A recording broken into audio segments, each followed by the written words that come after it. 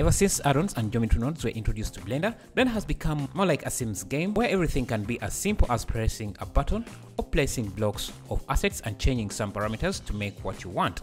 Of course, modeling is not going anywhere since a lot of generators are built on top of handmade models but I don't remember the last time a new tool or feature was added to Blender that helps with modeling. And it's not just Blender. Houdini barely has any polygon modeling features, Unreal Engine is focusing more on procedural content generation, and Cinema 4D and Max are beefing up their nodes system. So it's getting easier to work with Blender without modeling anything at all. So let's look at some generators and add-on that are helping make that happen. Speaking of Sims, making bridges like this was functionality found in games like SimCity or City Skylines, not DCCs like Blender, maybe Houdini, but not Blender. And now that procedure workflow is here. This procedure bridge generator will help you make bridges that takes your terrain geometry into consideration when adding support columns. Number two, Cyberscape Pro. A game like SimCity can generate a whole city with buildings, people and traffic so why don't we have a generator that can do that? Well we have one that can do even better and that is cyberscape. Cyberscape can produce realistic looking buildings for day and nighttime renders with all the characteristics of a dense metropolitan like heavy traffic billboards and more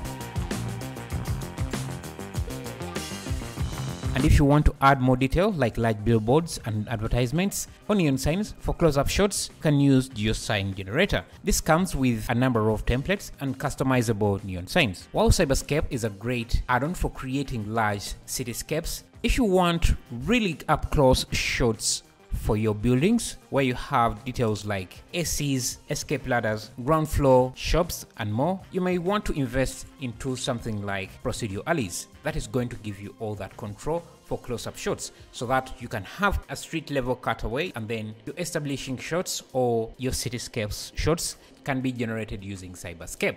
Number four, when people think of add-ons and generators, they think of add-ons or generators that create things. What they forget are add-ons that are used to optimize and clean up your geometry, like this Instant Clean mesh. It's used to repair meshes, correct smoothing, correct normals, optimize the mesh, remove orphan vertices or bubbles in your mesh, and can also be used to make meshes manifold for 3D printing. You can also use it to clean up object data, to remove unused data and reduce file size, and more. This is especially useful for anyone who does photogrammetry or 3D scanning since most of the mesh comes out needing a lot of cleanup before it can become usable. Number 5. A lot of artists are worried that procedural generators are going to replace artists, but that's impossible because first they are made by artists and most generators work off existing models. What they are used for mostly is to add intricate detail that would otherwise not be added because it takes too much time to make or is too complicated to make like this utility pole generator. You can look at renders with electric poles. Most of them are basic and lack detail because they take too much time to add. Unless the electric pole is the focus of the render, it's not going to have this level of detail unless you use a generator like utility pole. Number 6. Easy Smart Materials. You have seen Procedural textures, you have seen Procedural materials. Now let me introduce you to smart materials. The concept of smart materials is most common in applications like Substance Painter. This is where the material takes into consideration things like the thickness of the material, proximity to other meshes, ambient occlusion, normal maps, edge angle, and more. Normally, Blender materials just map whatever material you have onto the geometry without this consideration. But with an add-on like Easy Smart Materials, your renders can look more realistic and you also get more control over the look development of your materials, and assets. Number 7. Medieval Procedure Pack. If you are making a medieval environment, consider this generator. This is by the same artist who created Procedure Castles. So if you have that too, you have a complete set of tools to easily generate detailed medieval worlds. Number 8. Aircraft Generator. Yes, modeling is fun, but don't you love the power of unlimited variations you get with generators? For example, this generator can create hundreds of procedural aircrafts by just changing a couple of sliders. The materials, texturing, and design are all procedurally generated, so you get aircrafts that look different material-wise and geometry-wise.